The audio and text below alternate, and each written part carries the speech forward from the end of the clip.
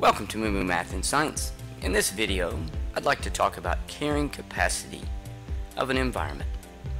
The maximum number of individuals in a species that an environment can support for the long term is the carrying capacity. Carrying capacity is limited by the energy, water, oxygen, and space which are all limiting factors. As a population nears the carrying capacity, resources become limited. And if a population exceeds the carrying capacity, deaths begin to outnumber births. Let's take a look at the fish family that live in the fishbowl. Life is plentiful. There's plenty of space. There's food to eat. There's energy from the sun. And they're able to reproduce.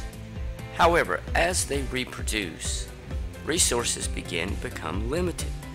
They're limited by space and the amount of food. However, they're still able to reproduce.